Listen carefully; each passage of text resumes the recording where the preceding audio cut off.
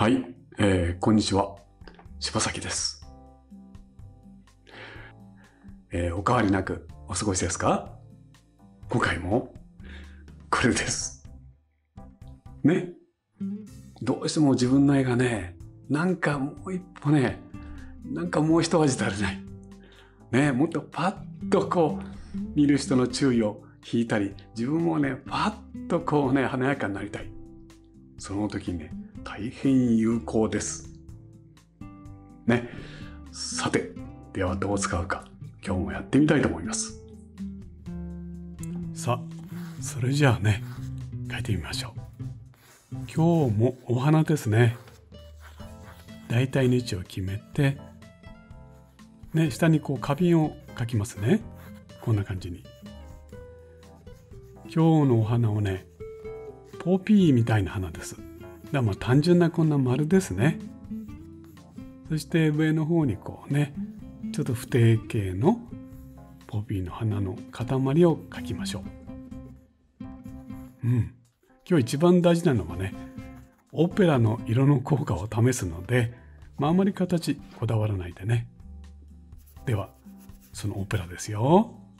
そして、イエローディープをこうしてね、混ぜます。ね。このね、オレンジのような色と、このバーミリオンみたいな色、これを使いましょうね。ではまずイエローのディープをザクザクっと塗りましょう。この花瓶のとこの模様もね、イエローのディープにしたいと思います。上の方にあるお花はイエローのディープを薄めに塗りましょう。そしてこれですね。ほらほら。オペラをね、シュッシュッシュッとこう重ねてみます。そうすると、ね見てください。オペラの色の濃度によって、うーんと赤く見えたり、そしてまたオレンジ色っぽく見えたりしますよね。これがね、綺麗でまた楽しくて、ねえ、いいんですね。ほら、こんな感じですよ。ねえ。イエローディープとオペラの色の濃さの違い。ねえ、それによって、こうやってね、色に変化できるんだからね。花びらのとこはちょっとね、こう引っかきましたね。それに合わせて、こうね、えー、オペラをね、イエローディープの上から塗ってあげましょう。さあ、どうでしょうか？ね、こんな風に、どんどんお花がね、変化飛んでくるんですね。もうたった2色だから心配ないですよ。そしてそこにね、グレーの色をちょっと加えます。こんな風に。そうするとね、ほら、お花にちょっと立体感出るでしょねグレーだからね、ただ明るいくらしかないんですけど。こう真ん中のとこに今度は、ブルーですね。コバルトブリブルーにね、オペラをちょっと加えた色です。それを差し込みます。どうでしょう？絵が華やかになってきたでしょ？では後ろの方はこのコバルトブルーにさっき使ったねグレー。うん。それを混ぜてねこう塗っていきます。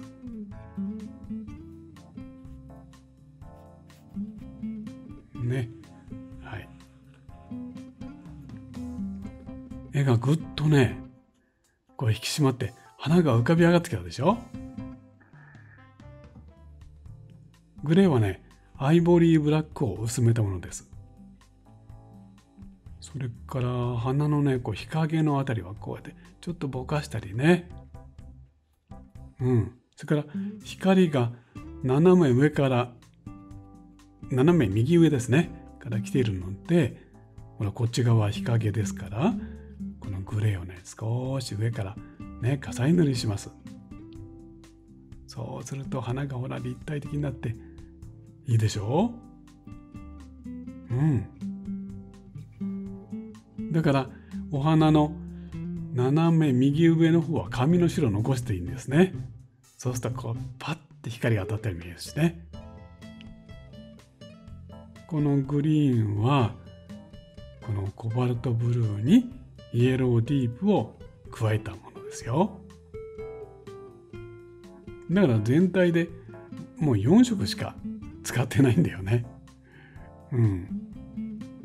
4色で楽しめるよねでも基本的な今日のお勉強はオペラとイエローディープの混色のねそういうお勉強なんですけどもそこにアイボリーブラックと、えー、コバルトブルーをまあねちょっとお花引き立つようにこうやって加えたりお花が立体的に見えるように加えたりしてるわけです。ねもう今日のねポイントもう秘密が見えたでしょ？さあどんどんこうやってね葉っぱなんか描いていってあげよう。ねこのこ明るい茎とかねなんかこうやって爪でカリカリって引っ掛けばいいんだもんね。とっても簡単ですよ。さあだいぶねここなんか薄こう色薄くしてねちょっと入れてあげよう。うん。ねたった2色なんだからねもう花をねずっと鮮やかにねもう色を保ったまま描くことができますここはこうやってね絵の具洗ってねほらこうやって色を差し込むと小さいつぼみになりますね。そしてここの花瓶のところねグレーをこうやって重ね塗りしてあここそうだな。これコバルトコバルトグリーンですね。ちょっとこう色がおしゃれにしたかったからね。4色以外にコバルトグリーンを使いました。さあどうでしょう。ねえ華やかになってきたでしょ。こんなことなんだよね。少しこの辺ねちょっとこう床なんか暗示させて。うん。いいかなこれで。お花がとにかくね今日ねたった2色で。華やかにねそれでもこの2色の色のね割合でこんなに多様な色ができるんだよさあそれじゃあ見てみましょうはい出来上がりですはい、えー、書けましたよ。ねオペラですね。そして、イエローディープ。でも、これをずっと混ぜていくと、上から下とこうね、混ざり方によって色が違ってくるんですね。今日はこの中で、このイエローが多めのね、このオレンジ系の分を強調して色を作る。もちろん上の方ね、ちょっとこうバーミリオンのね、こう、バーミリオン部分とオレンジの部分を両方ね、このイエローディープとね、オペラで、ねえ、素敵な色を作ろうというわけでした。そして、描いたのこれですね。とっても綺麗でしょ？まさか2色で描いてるとは思えないでしょ？ねえ。こういうね、お花なんか描くときあんまりたくさんの色使ったらダメなんだよね。うん。とにかく透明水彩水彩ですから、たくさん色をね、混ぜたり、重ねたりすればするほどね、色がおかしくなってしまうんですね。だからほら。ね。たった2色。そして、こう少し日陰のようなところは、こんなんでしたね。はい。さあ、どうでしょう。ねえ。なんか赤や黄色の花描きたくなったでしょ？もちろんお花じゃなくてもいいんだけどね。はい。まあ少しでもね、あなたの絵がね、もう今までと違って、パーッと良くなるようにね、えー、お役に立てば、柴崎はとっても嬉しいです。はい。はい、えー、ところで、えー、ね、これは毎回お話していますけども、えー、柴崎は、チャンネルメンバーシップをやっております。えー、このチャンネルメンバーシップはね、えー、メンバーの方々限定のね、ライブ配信をね、お送りしています。はい。もう正直が結構ね、どのくらい絵を描くときね、当時なのかとかね、なんかいろいろね、えー、分かってしまって僕もちょっと恥ずかしいとこあるんですけども、まあ、でも楽しくね、会員の方々たちと、そのライブの中でね、交流をしております。えー、またその他にね、柴崎の水彩画のね、データをダウンロードできるね、そういう特典もあります。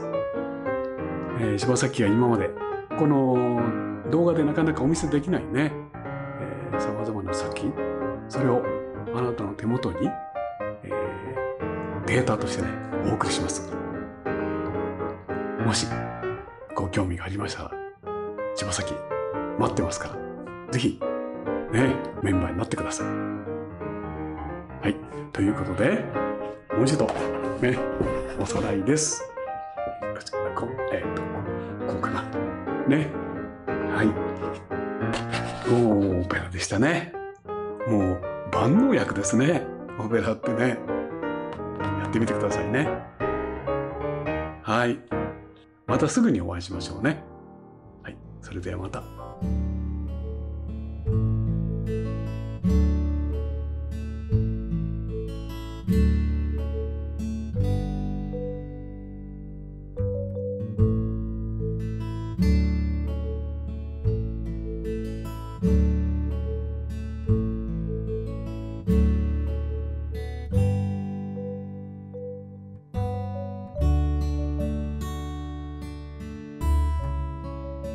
いかがでしたか？チャンネル登録もよろしくお願いいたします。